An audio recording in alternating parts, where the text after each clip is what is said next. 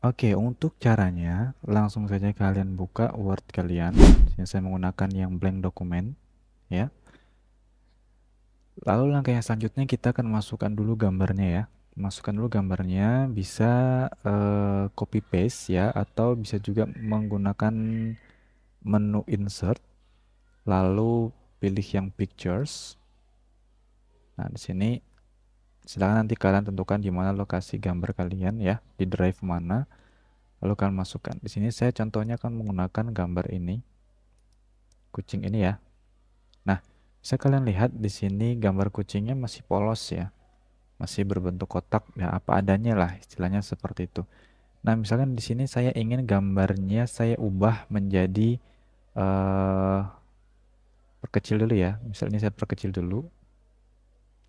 Nah, jika kalian perhatikan terdapat uh, beberapa titik jika kita mengklik gambar yang ada di Word. Ya. Ada 8 titik yang bisa kita pakai untuk meresize ukuran gambar tersebut.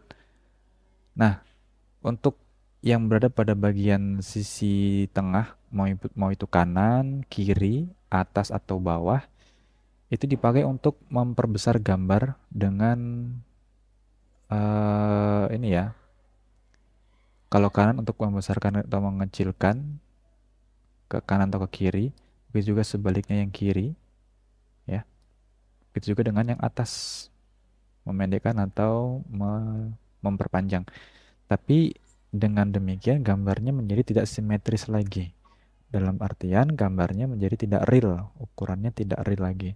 Nah, jika kita ingin menggunakan uh, memperbesar atau memperkecil ukuran yang tetap real, maka kita gunakan yang titik yang berada pada bagian sudut-sudutnya.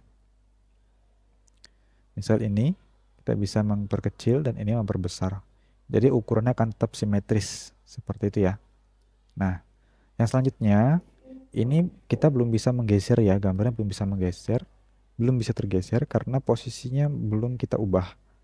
Nah, kalau kita ingin menggesernya ke tempat yang di mana aja yang kita mau, kita bisa klik di sini nanti muncul ya layout options atau bisa juga melalui format nanti pilih yang uh, position atau pilih juga yang wrap text bisa bisa disesuaikan. Ini sama saja. Misal di sini kita pakai yang ini yang type. Nah, nanti gambarnya akan bisa disesuaikan digeser-geser seperti itu. Nah misal di sini uh, saya ingin membuatnya sisi-sisinya menjadi ngeblur tinggal pilih saja di sini soft edge rectangle ya kan maka sisi dari gambar ini menjadi blur ya, seperti itu kotaknya. Lalu pilih lagi dan kalian bisa menyesuaikan. Misalkan sini ada bayangannya seperti ini misal. Ini bisa kita sesuaikan, toh? Nah, yang penting kalian hanya perlu mengaktifkan atau mengklik gambar tersebut, lalu menu format akan muncul di atas dan kalian bisa menyesuaikan pada picture styles. Di sini terdapat beberapa opsi yang bisa dipakai untuk uh, sebagai preset ya untuk merubah tampilan gambar yang kita masukkan tadi. Seperti itu. Nah, yang selanjutnya di sini kita akan merubah gambar ini atau mengcropnya menjadi bentuk yang kita inginkan. Ya, misalnya ini kita kembalikan dulu.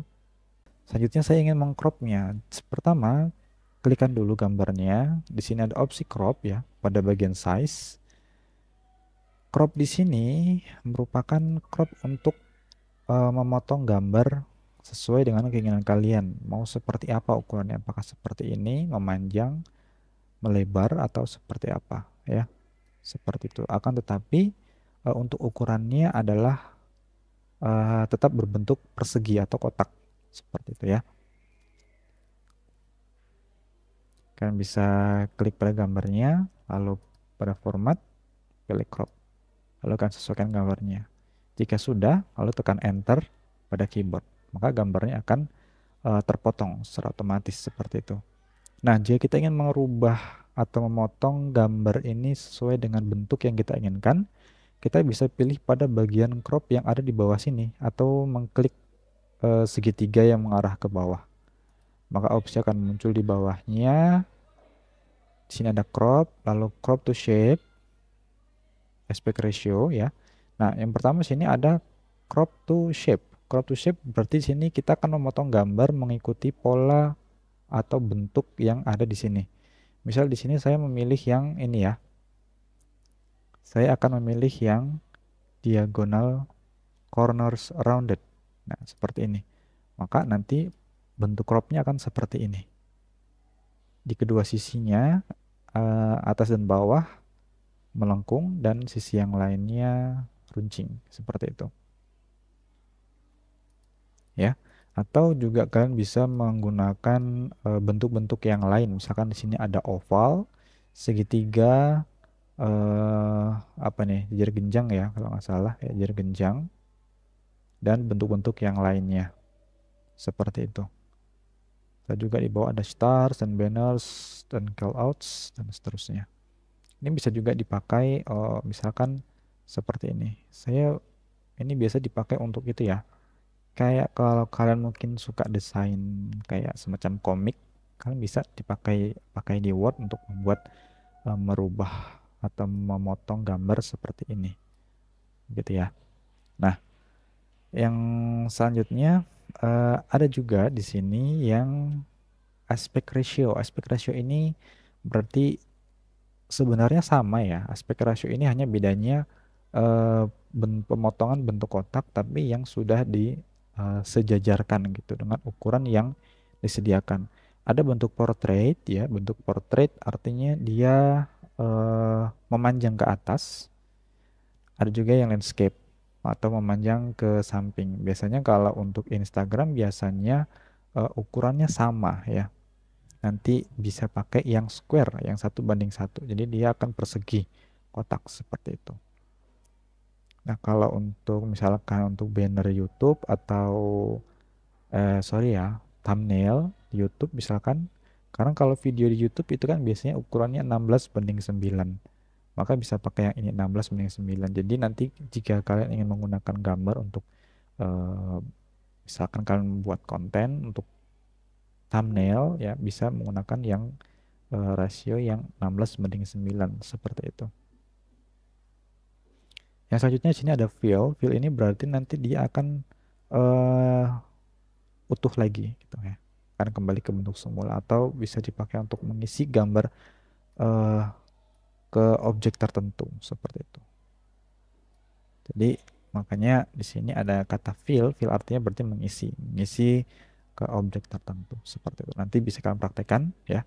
Atau bisa juga kalian mengcrop atau memotong gambar menggunakan uh, tools yang ada di sebelahnya yaitu untuk uh, memasukkan angka ya, berapa senti yang ingin kalian. Misalkan di sini kalian ingin mengcrop foto tiga kali empat misalkan ya untuk membuat pas foto tiga kali empat kalian tinggal masukkan di sini uh, height ya perlu kalian perhatikan di sini ada height dan juga weight kalau height ini berarti untuk e, memanjangnya ke atas, memanjang dari atas ke bawah, sedangkan yang width ini dari kiri ke kanan. Seperti misalnya kalau foto 3 kali 4 berarti bagian atasnya 3, maka yang diisi 3 cm adalah yang di bawah, bagian width. Seperti itu. Nah, ini kurang lebih seperti ini ya. Jika ingin disesuaikan lagi, kalian tinggal menyesuaikan lagi ininya, angkanya. Seperti itu. Misalkan 3 kali 4 ya. 3 kali 4 maka kurang lebih fotonya seperti ini. Maka ini adalah ukuran pas foto jika nanti kalian ingin membuat uh, atau mau print mencetak foto dengan ukuran 3 kali 4 untuk disesuaikan uh, dengan mungkin dokumen yang kalian sedang mau buat seperti itu Nah, kalau misalkan dengan ukuran 4 kali 6 bagaimana? Ya, berarti kalian tinggal rubah lagi di sini ukurannya. 4 kali 6 berarti yang dari kiri ke kanan 4 ya 4 cm lalu dari atas ke bawah nanti 6 6 cm tinggal dimasukkan di sini 6 dan di sini 4 maka nanti tinggal kalian uh, atur dengan kebutuhan kalian seperti itu nah uh, jadi terdapat beberapa cara ya yang bisa dipakai untuk memotong gambar atau crop ya istilahnya. Jadi uh, tentunya ini akan sangat berguna sekali terutama bagi kalian yang sering menggunakan Word ataupun hanya sekedar untuk ingin pergi mencetak foto ya. Untuk mencetak foto ini tentunya akan sangat berguna sekali. Seperti itu oke uh, untuk video kali ini cukup sampai di sini jika ada pertanyaan atau mungkin kalian ada tips lain untuk crop foto di Microsoft Office Word bisa kalian uh, sharing di kolom komentar Jangan lupa juga untuk klik tombol like, share, dan subscribe channel ini agar kalian terus mendapatkan update video terbaru tentunya. Sekian, semoga video ini bermanfaat. Thank you for watching. See you next time dan wassalamualaikum warahmatullahi wabarakatuh.